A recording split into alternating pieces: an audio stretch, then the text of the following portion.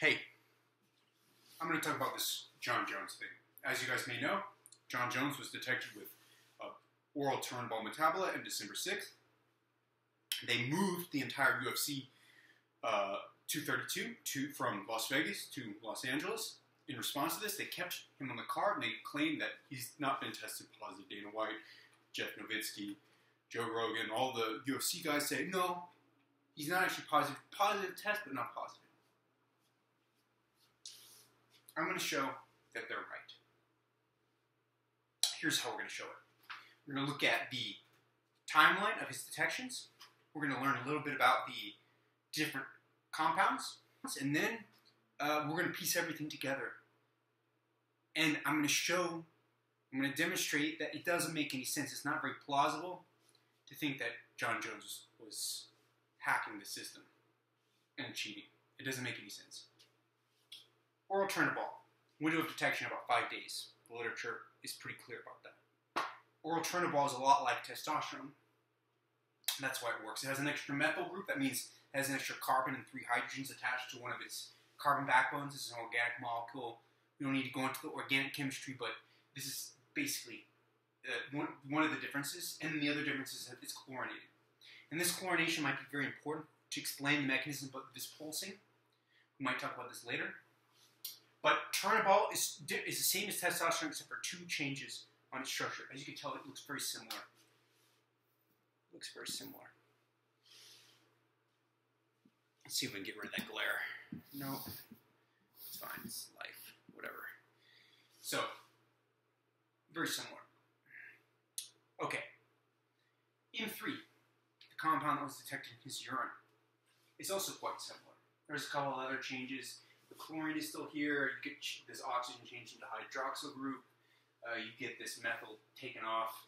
So it's it's a little bit different from testosterone or Turinabol, but it's quite similar. As you can tell, there's these four rings, three six member rings, one five member ring. Okay. It this oral Turinabol creates this M3 metabolite, which is the, the metabolite that was detected in Jon Jones. It also creates all these other metabolites. 1, 2, M2, M4, and a bunch of others. There's actually about 20 of them. these metabolites were shown in about 2009, 2010 to stick around for about 22 days. Actually, one of these metabolites in particular, and other ones have a little bit of a shorter um, window of detection.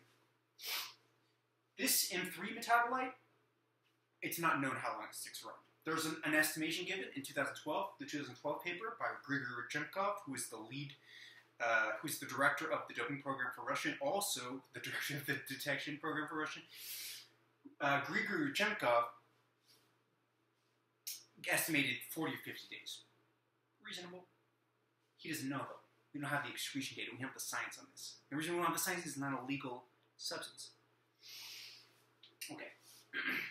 Here's why it doesn't make sense to say that Jon Jones was using oral Turinabol, microdosing, whatever. Doesn't make any sense. August 9th, zero picograms per mil. No, no detection. August 29th, 8. M3 only. None of these other metabolites. We know that these have a detection window of 22 days, right? This is 20 days why isn't there any detection of the other metabolites? If he, on that very day, August 9th, decided to dose a little bit, one, one, one tablet, one day, two, 20 milligrams, maybe 80, maybe, if he was like just going for pure bulk, he's trying to maybe bulk up before a cut near the end, like he's trying to gain some muscle before he had to cut so that he didn't lose as much muscle, maybe there might be some theory behind that. One day, yeah, one day, but it, it is one day. So you're probably not going to get much out of one day. But let's say he did that. Then he was then he was testing again the 20, 20 days later. There's nothing that shows up. It's kind of strange. 22 day detection window. And if he was actually smart and he's actually trying to really gain muscle, he would have done more than one day. He would have done a week. And those, and those would have been picked up. Because we're talking 15 days, 14 days. So according to this idea,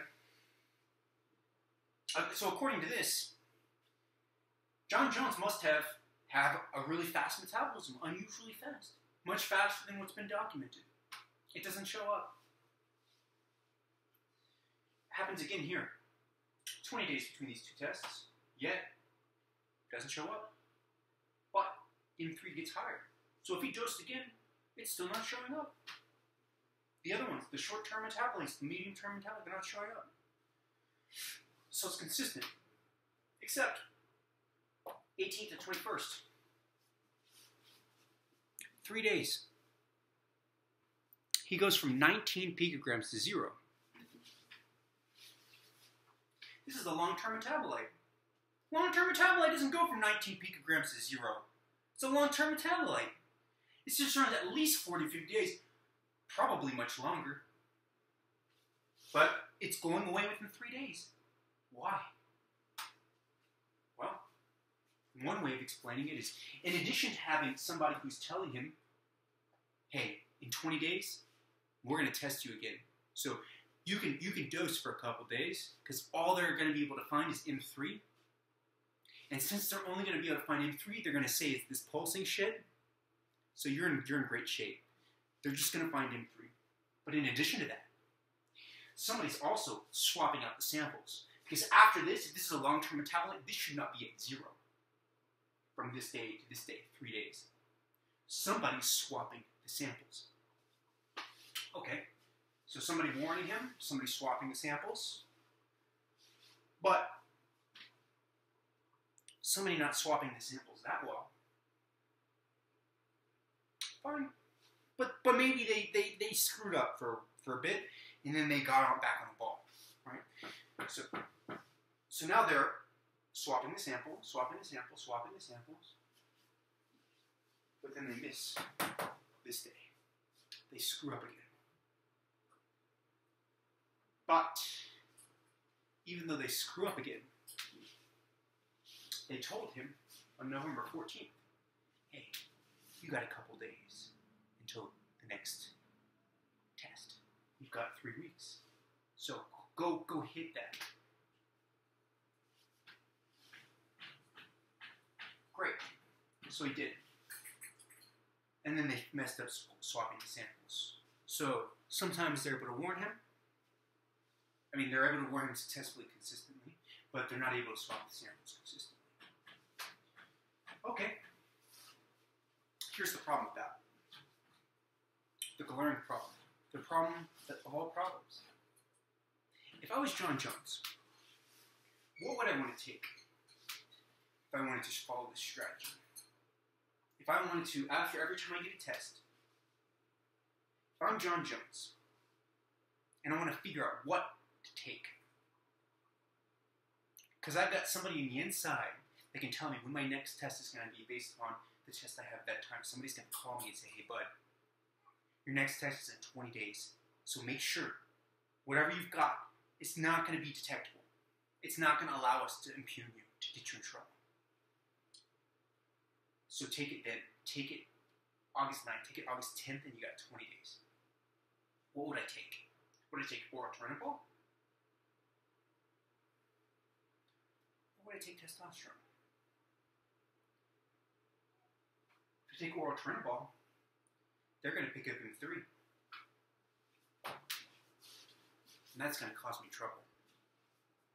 It's going to cause everybody trouble. It's going to cause everybody trouble. But if I take testosterone, my testosterone will spike. My testosterone estrogen ratio will be a little funky for a day. Oral testosterone.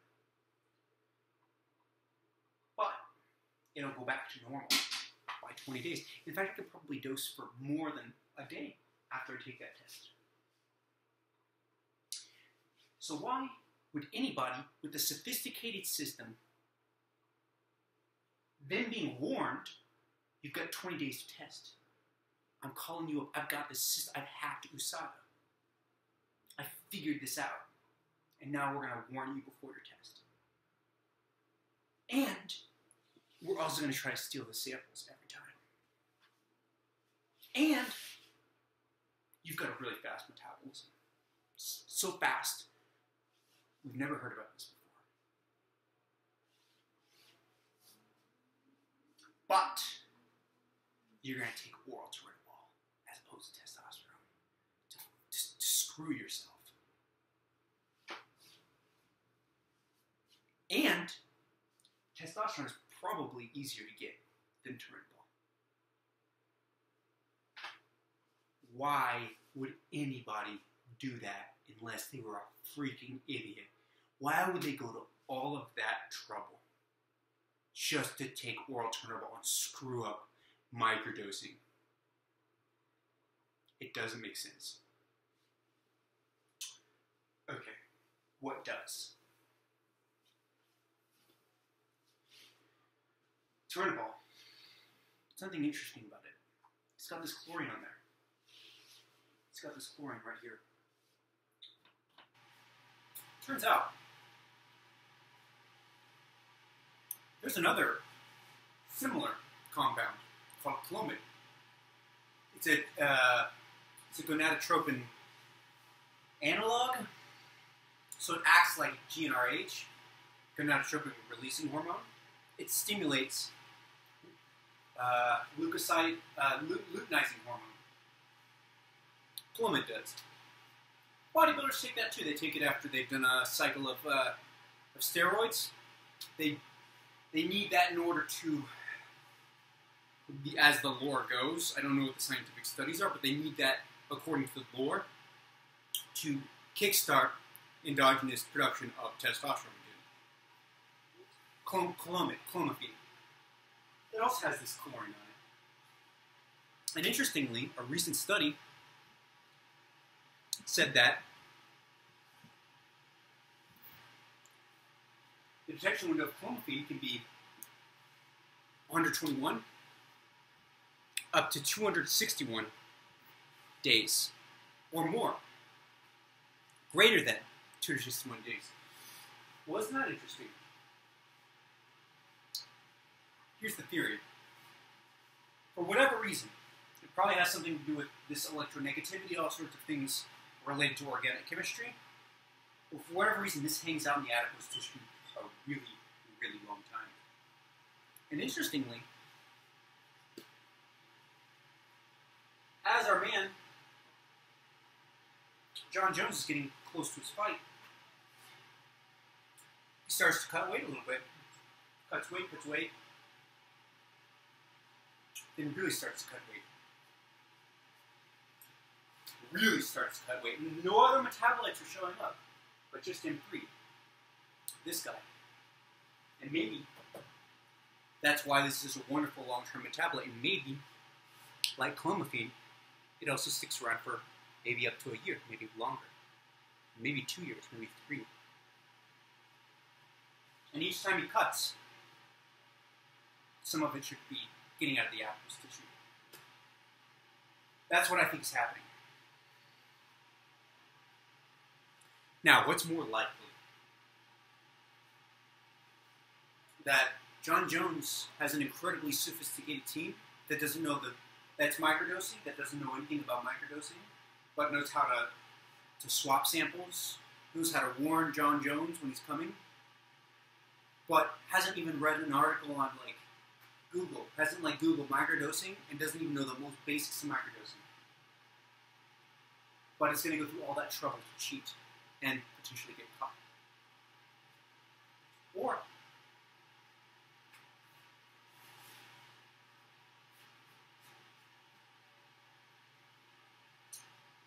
this is staying around the adipose tissue. Or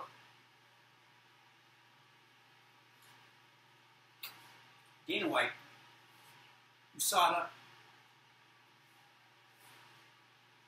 other professional organizations who have commented on this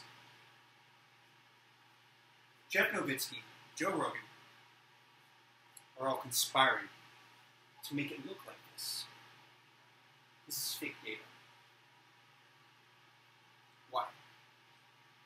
Because they want Jon Jones to win. They want Jon Jones to win. So they're willing to throw away everything, to risk everything, to make sure Jon Jones wins. How likely is that? There must be dozens of people who are risking everything are covering things up and faking data to make it look like this, so that Jon Jones will win.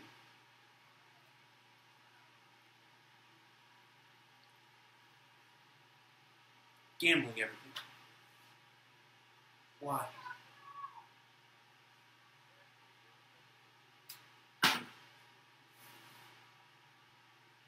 So either Jon Jones is a sophisticated idiot, or there's a massive conspiracy that we don't understand why. Or there's something new to learn about steroid and doping testing, which is about 35 years old, the field, and which is constantly making progress in, in finding things out, and which this test returnable, came about six years ago.